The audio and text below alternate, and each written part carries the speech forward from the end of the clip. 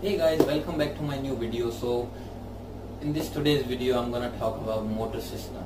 So, I will perform the physical examination of the motor system, and which will help you to perform in front of the doctor when you are performing the OSCE physical examination. So, without any further delay, let's get into it.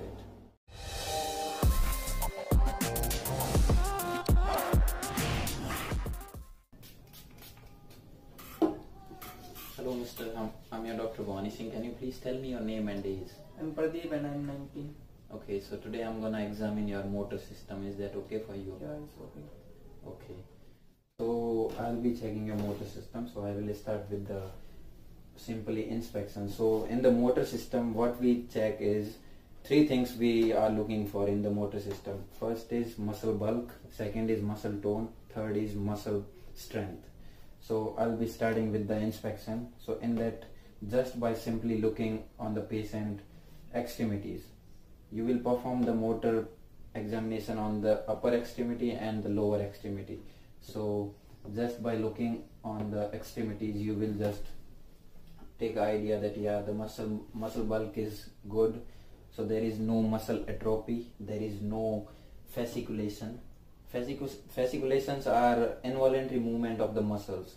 So if there is any fasciculation, the muscle will be contracting itself. Okay, so there is no muscle atrophy or there is no fasciculation. So we are done with the muscle bulk. So in the muscle bulk, only we are doing is inspection. Okay, so now we come on the muscle tone. So in the muscle tone, what we are doing is tell the patient to relax completely extremities. Okay, and then you will do is uh, okay, just relax your hands, sir, and uh, you will make the passive movements of the all the joints of the hand. Okay, so you will start from the distal um, distal joints. You will make the all the possible movements you can make. Then wrist. Okay, then elbow and then shoulder joint okay? So during the passive movements i mean i was checking for the muscle tone. So during that time i feel little resistant in the passive movement. So that is normal okay?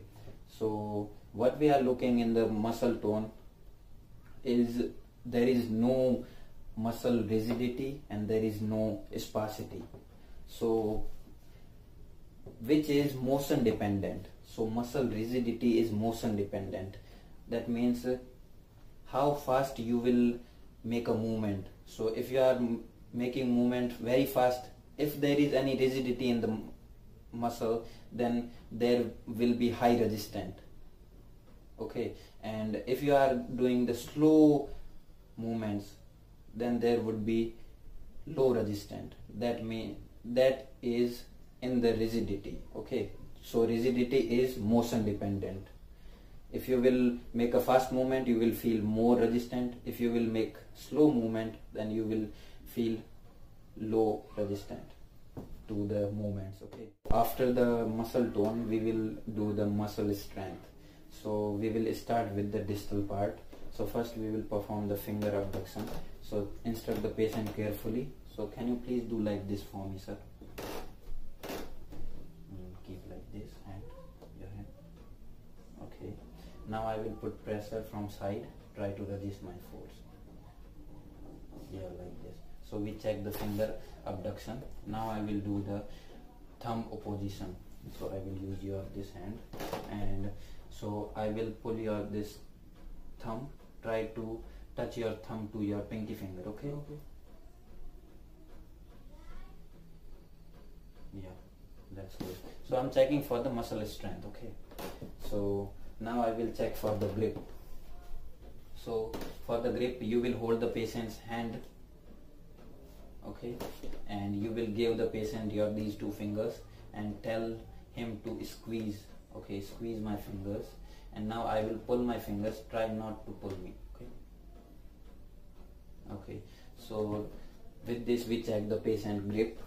So now we come on the wrist joint so in the wrist joint I will check for the extension of the wrist joint. So can you please do like this for me? Okay. Now I will pull it down. So try to resist it. Okay. Yeah. Like this. Okay. Now I will check for the flexion of the wrist joint. So can you please do like this for me? Now I will pull it upward. Try not to pull. That's good. Relax. After the wrist joint, now we will perform on the elbow joint. So in the elbow we will do the two movements, flexion and extension. So for the flexion we are checking for the biceps muscle. So in the flexion we will tell the patient to okay we will hold we will try to straighten the patient elbow and patient will pull against it okay so I will pull out your elbow hand so just try to fold bend your hand okay okay okay so in that we are checking for the biceps muscle. Now I will check for the extension. In that we will checking for the tricep muscle. So for the triceps you just try to straighten your elbow okay? Yeah do it. Good. So with this we are done with the flexion and extension of the elbow joint. Okay after the wrist joint we come on the shoulder joint. So in the shoulder joint there are two movements abduction and adduction. So first i will perform is adduction. So for the adduction what i will do is i will apply pressure from down to upside and i will tell the patient to resist it okay? So i will apply pressure on your arms down to upside. You just resist my force. Okay? Okay. So after the adduction now i will perform for the abduction. So for the abduction what I will do is I will apply pressure from the upper side to downside. Okay? So you just resist my movement or you you just resist my force. Okay? So with this with this we are done with the upper extremity. Okay so now we will perform on the lower extremity.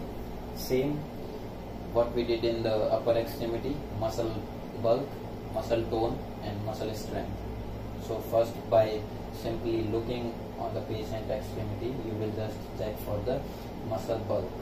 So there is no muscle atrophy, there is no muscle muscle fasciculations.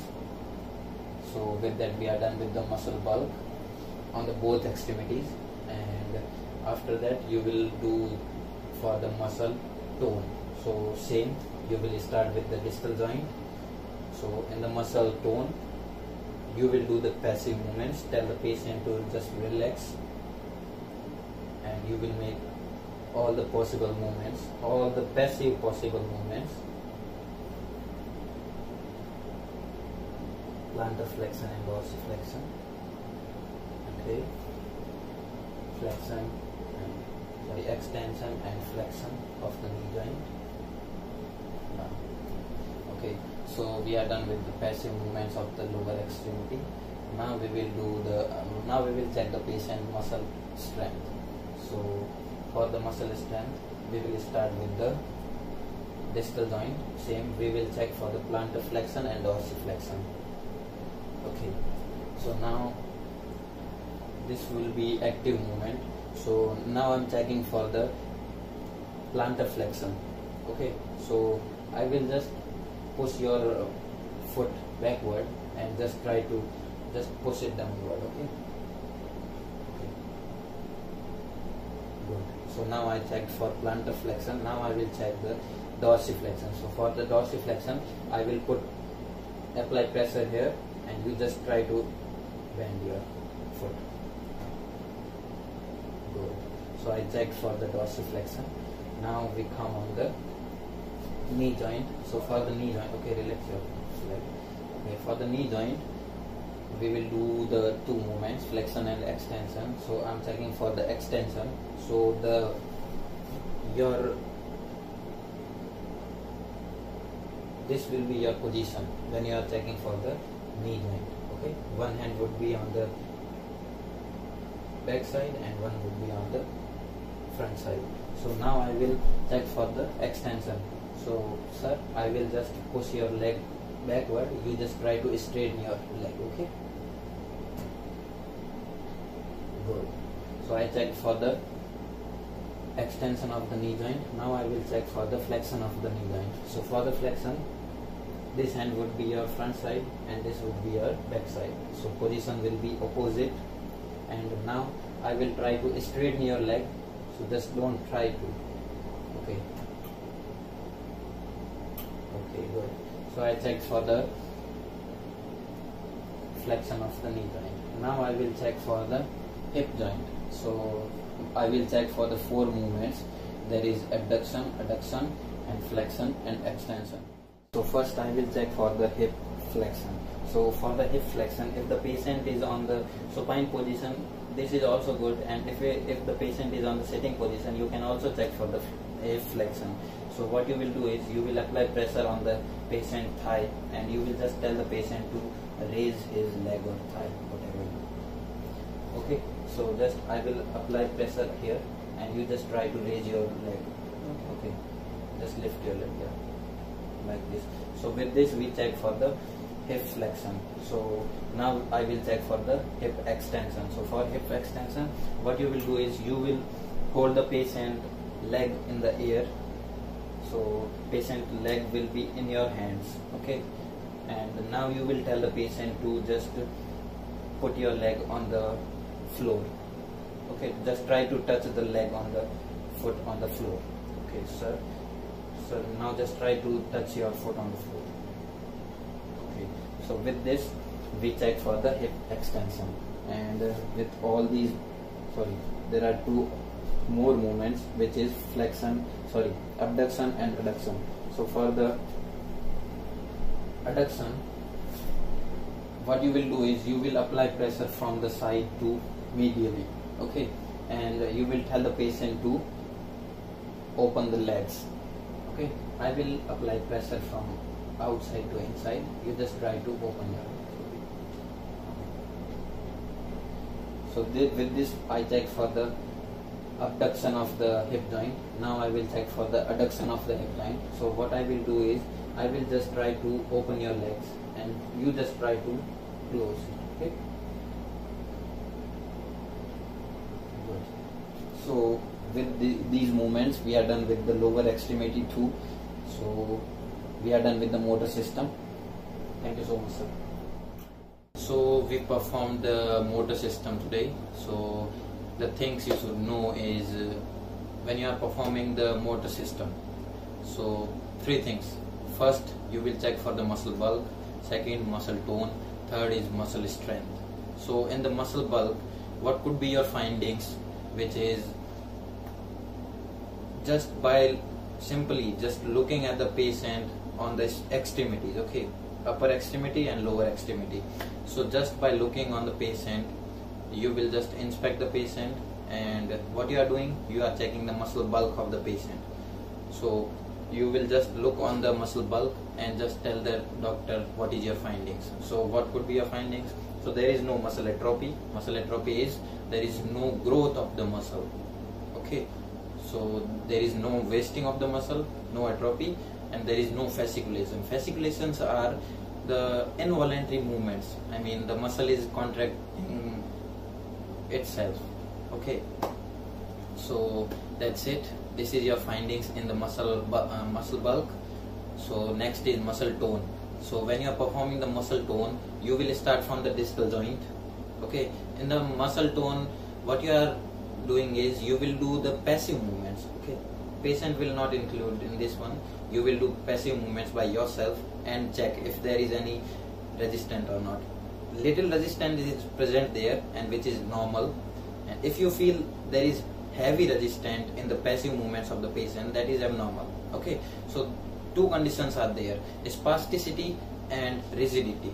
So what is spasticity? Same the involuntary contraction of the muscles okay? And what is rigidity? Rigidity is uh, i mean the muscle will be rigid. I mean he uh, muscle will muscle will give resistance when you are performing the these movements. Muscle will give resistance. Okay? So the question would be which is dependent on motion? So your answer would be the rigidity is motion dependent okay? So when you will make a fast movements you will feel more resistant. And you, when you will make slow movements you will feel low resistant that means rigidity is present there and rigidity is motion dependent okay? So we are done with the muscle tone. Now we are we come to the muscle strength. So in the muscle strength what you are gonna do is you will make a movements okay? And you will tell the patient to resist it okay like you are checking for the uh, okay you will uh, same you will start with the distal joint. First finger abduction. So you will apply pressure from side wise and you will tell the patient to keep fingers like this only. Okay? And uh, next is thumb position thumb what you will do is you will just pull the patient thumb and uh, tell patient to touch the thumb without moving the pinky finger touch try to touch the thumb to your pinky finger okay? And you will just pulling it. Now the next is grip. So in the grip you will give these two fingers to the patient and he will squeeze the fingers and then you will just try to pull it outside okay? And you are checking for the muscle uh, sorry grip. And the next is next we come on the wrist. So wrist joint you will tell the patient to extend the wrist and then you will just try to pull it down. And you are checking for the extension. And when flexion you will pull it upward okay? For the okay just you are checking the muscle strength. So if the if there is muscle weakness patient can't keep hand like this okay? So when you will pull like this you easily can pull. Otherwise patient will resist your pressure okay that means the muscle strength is good and there is no muscle weakness. This is your findings of the muscle strength. Okay that's it guys. So this was our today's video. I hope this is helpful for you. So please hit the like button and subscribe to my youtube channel. I'll see you in the next video. Thank you so much